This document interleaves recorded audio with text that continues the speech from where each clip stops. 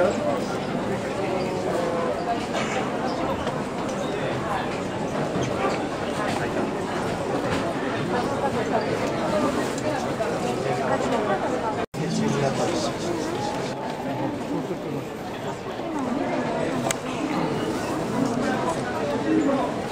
旧作業を行ってい。ますが現在もまだ復旧作業を行っておりますこのため中央線快速電車は現在東京立川間東京立川間での運転となっております。また電車と電車の間隔をも大幅に空いております、えー、このため、えー、大変お客様にはご迷惑をおかけいたしまして申し訳ございません。深くお詫びを申し上げます。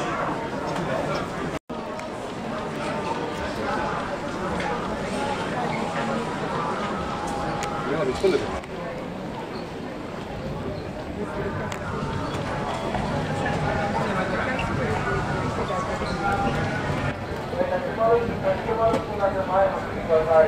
えー、こちらは、中央線、中央線